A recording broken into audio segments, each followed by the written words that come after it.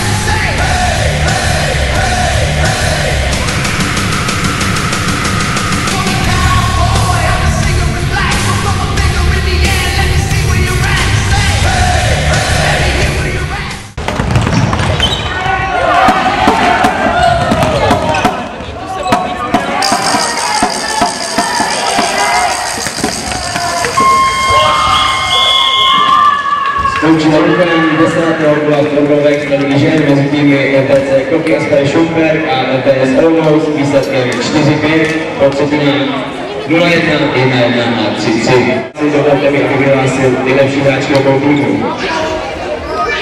Nejlepší hráčkou hostujícího týmu NTS Olomouc byla vyhlášena hráčka s číslem 6 Karolina Schodná.